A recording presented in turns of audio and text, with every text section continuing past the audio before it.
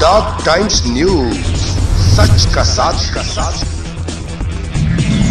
जहाँ खबरों का सिलसिला चलता ही रहेगा। अगर आप ये वीडियो YouTube पर देख रहे हैं तो हमारे चैनल को सब्सक्राइब करें और बेल आइकन को दबाना ना भूलें। अगर आप Facebook पर ये वीडियो देख रहे हैं तो हमारे पेज को लाइक करें। नमस्कार डॉक्टर टाइम्स न्यूज़ में आपका स्वागत है। मैं हूँ आपके साथ आर के त्रिपाठी यूपी का जनपद महाराजगंज। जनपद महाराजगंज के थाना क्षेत्र बिजमनगंज ग्राम सभा दुबौलिया के टोला दीनापुर के पास सरसों के खेत में लगभग 28 से 30 वर्षीय युवती की लाश मिलने पर क्षेत्र में दहशत का माहौल बन गया। आज सुबह शौच करने गए ग्रामीणों ने जब खेत में एक महिला की सिरकटी लाश देखी तो इसकी तत्काल सूचना पुलिस को दी। सूचना पर पहुँची पुलिस टीम ने मामले की छानबीन करना शुरू कर दिया है।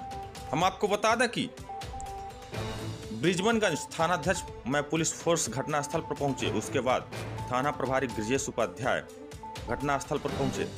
इसके उपरांत Nautanwa CO Ajay Singh Chauhan, additional SP Nimesh Katiyar ने घटनास्थल पर पहुंचकर निरीक्षण किया।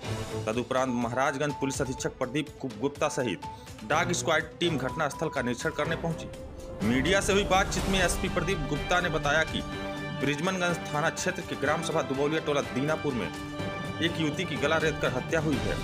युवती की शिनाख्त शशिकला पत्नी अनिल यादव निवासी दीनापुर के रूप में हुई है।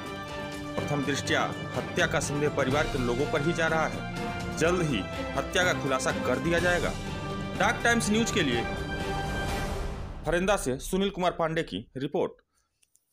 थाना क्षेत्र में ये दुबौलिया गाँव में एक महिला की लाश मिली है। महिला की एज लगभग तीस साल है और गले पे कोई धारदार हथियार से प्रहार करके इसकी हत्या की गई है। प्रथम दृष्टया शक जो है, इनके परिवार वालों पे ही है। कुछ लोगों को उठाया गया है और उनसे पूछताछ हो रही है। शीघ्र इसके मायके वालों को भी खबर की जा रही है और शीघ्र इस घटना का खुलासा कर दिया जाएगा।